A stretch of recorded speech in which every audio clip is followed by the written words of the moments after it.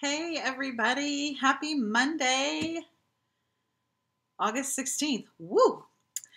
Uh, hope you're all doing well. It's been a minute since I've been on here. If you're here, please say hello. I'd love to chat with you. If this is your first time, I've got hair going everywhere. My name's Leslie, um, and I am an independent Stampin' Up! demonstrator and the founder of the Plaid Poodle Paper Crafting Company. Hi, Carol. Hi, Letha. Um, I had some time today to work on some things, and um, so I couldn't wait to get on here. It's been, like I said, it's been a while.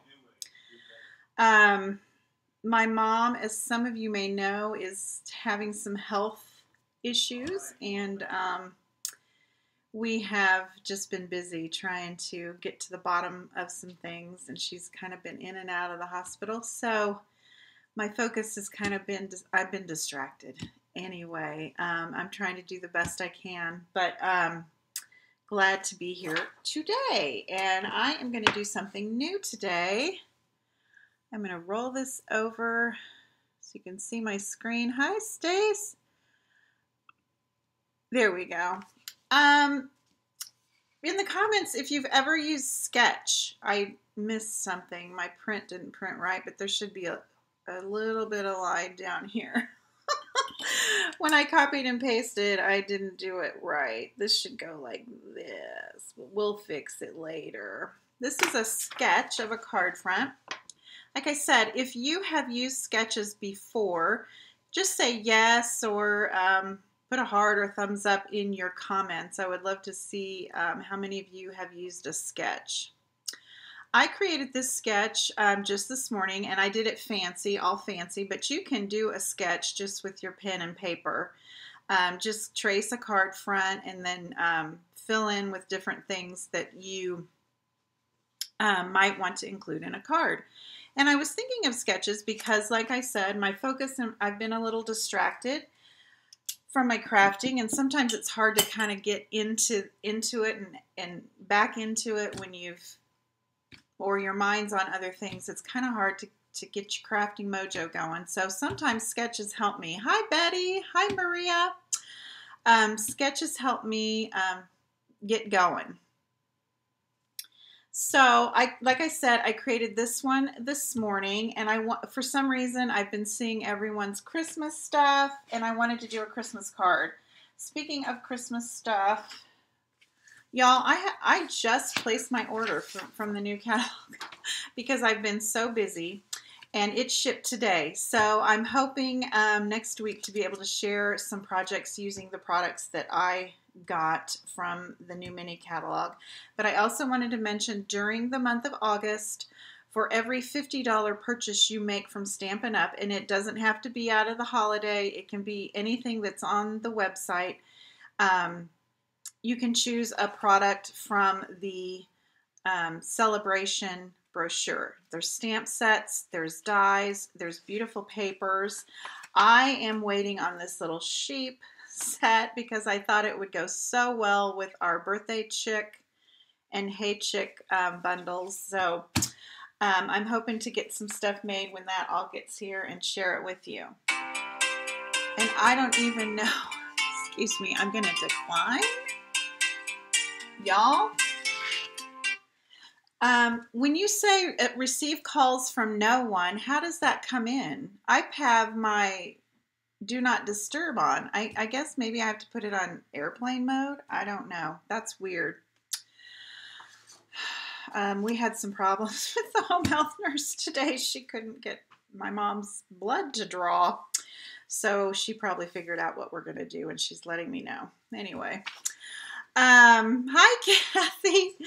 Um, this is the sketch I created this morning, like I said, and I decided to use a, a tried and true bundle from last Christmas, and I think I did a class on this, a card to go class, the poinsettia and petals. Um, this is in the annual catalog right now. And um, I didn't do a sample because we're going to just follow the sketch and create a card. Um, I did a lot of the cutting and everything embossing ahead of time, so it's not going to be um, too hard. But when you have a sketch to go, it does make it a lot easier. So I decided, I've got my sketch here, and I decided, well, I need two strips of something, and um, I want to use some designer series paper. So I chose some prints from the Heartwarming Hugs um, designer series paper, and it's the pile is across the room. But these are the two little patterns I wanted to use. They're little small patterns, which I liked because we're only using little pieces. So I cut a piece that is, oh, it didn't print on here. This is one and a fourth, I believe. One and a fourth by five. And then this one is one and a fourth by four and a half. So what I did is I just cut one strip and then cut the two down and use the opposite um, patterns. And I took the real red color out of my designer series paper and made my card base. And then I wanted a little texture. I don't know, there you can kind of see it. I used the um, Tasteful Textile 3D embossing folder to add just a little bit of texture to that. And all I'm going to do is take my two little strips here and adhere them on my card front. Now, I'm going to have this sketch available to you um, the proper form um, with the numbers showing. I, I must have um, been in a hurry. On my blog, theplaidpoodle.com. In fact, it's there now, but I'm going to have to fix it. And you can print it out for yourself if you'd like to keep a folder or download it and just keep it on your computer. It's a little crooked. It's been a little while since I've been down here crafting. I'm probably out of touch. Um, Kathy, I created this sketch my own self this morning. I just was waiting for the home health nurse to arrive. And so I thought, okay, if I was going to make a card, and I just kind of um, made it myself. But if you Google or go on Pinterest and just search um, card, maybe card making sketches, you'll find a gajillion of them. Um, different people have shared. You can also take a card, let me grab a card real quick, that you've already made and use it like a sketch. Um, you know, you could take this card and just use different products. Like you could just ch change it up a little bit using different products. So you have a card base, you have a layer, then you have another layer, then you have a ribbon or a bow. So you can use a card as a sketch too. Carol, this little spatula, I had a Cricut years ago. Um, I don't have the Cricut anymore, but this thing has saved my life more times. so maybe if you looked at tools for um, those those kind of machines, because you have to scrape up the, the paper off the mat, um, they probably sell similar things like that. Um, okay, so I've got my two little strips of paper. Then I've got a little rectangle here, and I could have just cut a rectangle four inches by two and a half, but I wanted to make it a little fancy, so I went ahead and used a new die that I received. Um, I was waiting. Remember when I did a, I did a, um, this stamp set, Color and Contour. It's from the new um, annual catalog. The, the dies were on back order and I finally got them so I was anxious to use them. These dies I know I'm going to use a lot because look, this one will fit right on as a layer and give you that nice finished edge for your first layer of a card. So that's mainly why I wanted this, um, these dies. And then, of course, if you get the stamp set to go with it, you save 10%. And I had the little outline for the flowers, so why not, right? Um, and these are the cards I made with that bundle. Was it a couple weeks ago? I talked about blending and different, uh, we use different edge, edge dies. And I used that um, color and contour, the stamp set. This is a dar darling little image and I liked the um, edging dies that I used too. But the main reason I wanted these dies, I almost ordered just the dies, was for these layering rectangles. But, you know, what would I use that for? So I went ahead and got the, the stamp set. Um, so anyway, long story short, I cut this out of a 4 inch by 2.5 inch piece of um, basic white cardstock. And I'm going to just kind of lay that right on the center I'm not even going to pop it up or anything. Just kind of unusual for me.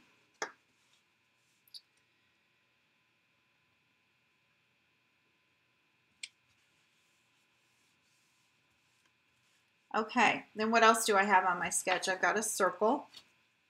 And instead of the circle, I could have just used a circle die and maybe cut that out of some more co coordinating um, designer series paper, or I could have put my sentiment on there. But I went ahead and cut um, a couple poinsettias out of the red velvet paper. And I'm going to just stack these up right here, and I'm going to put them on with the mini dimensionals. They're the perfect size. So instead of a circle, I'm just putting this flower, this, the flower on here. I love this red velvet paper for the holidays. It'd be cute for Valentine's Day too.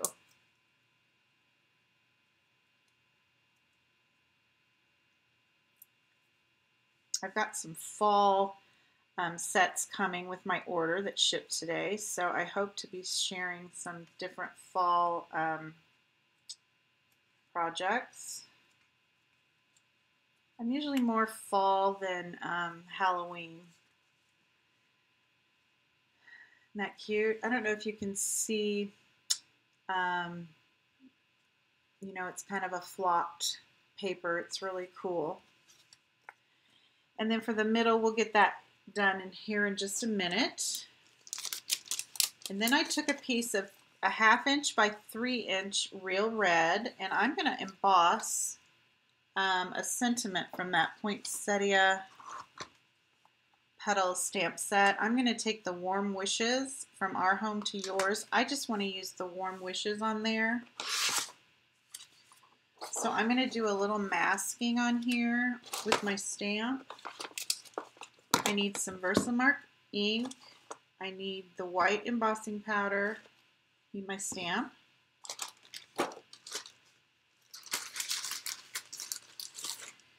And I'm going to use my anti-static tool on here just for a sec. Okay, and then I'm going to mask my stamp with a post-it note. And I've got it, got my stamp on here crooked.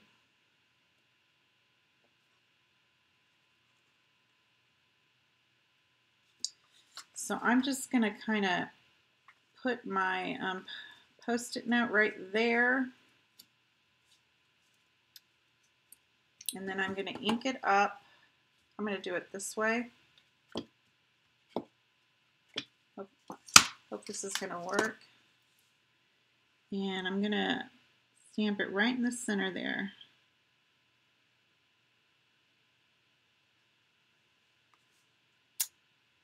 Oh, I think it's going to work.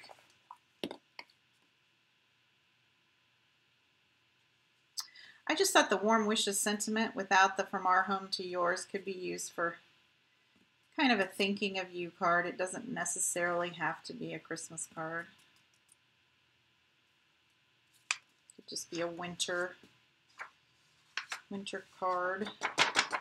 Be a nice um, birthday card for somebody who has a birthday during the holidays.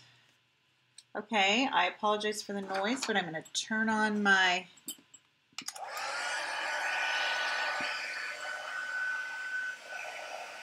heat tool.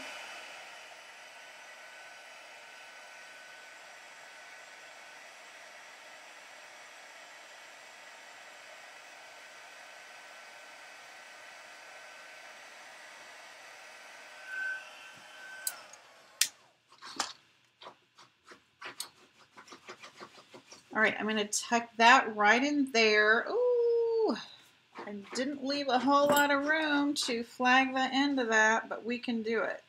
So we're going to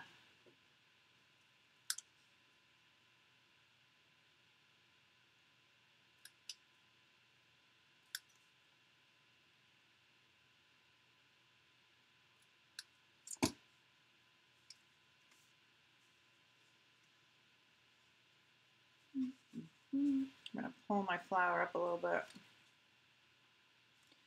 I might have to move my flower over just a tad. Let's put this on here first.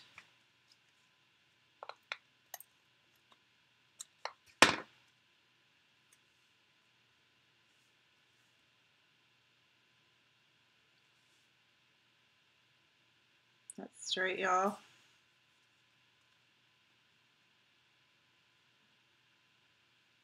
There we go. Now we'll put our flower on. I don't know that it needs popped up. I think I'm going to just glue it or adhere it. Maybe just put a little liquid glue.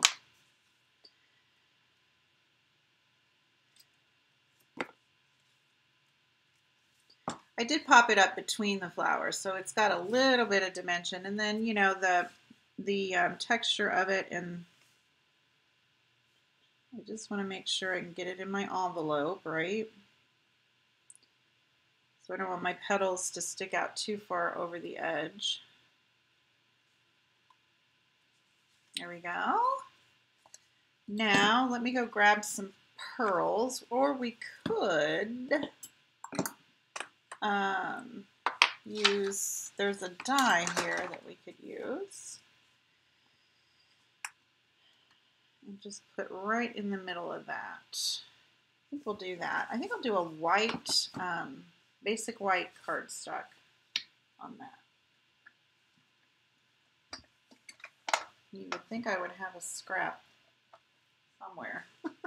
I tidied up my space before I turned the camera on so you guys wouldn't see what a mess it is down here.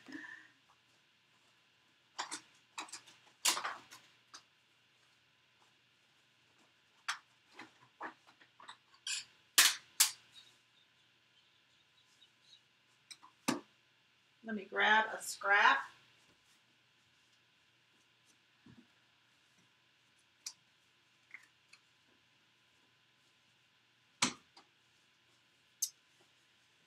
Okay.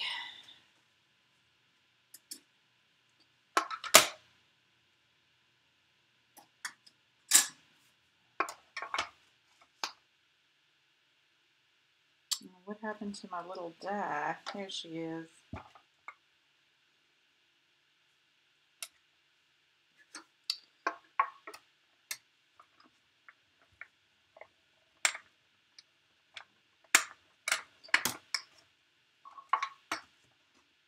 Have the white velvet now. Could have cut that little flower center out of the white velvet.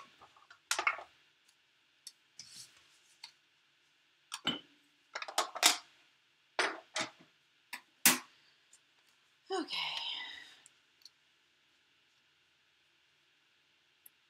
Isn't that cute? Okay, I'm going to just glue that down so it doesn't fly away.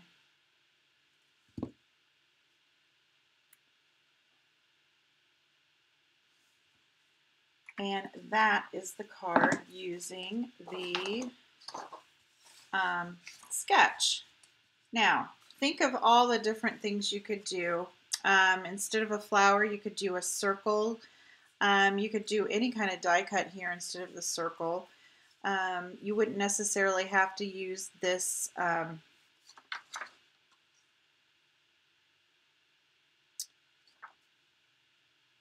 what do you call it? Die cut. It's a die cut. um, instead, you could just cut a rectangle there. We could have embossed that instead of the, the card back. Um, you could make it any any occasion, any season you wanted, depending on the paper and the embellishments you use. So I have an invitation for you all.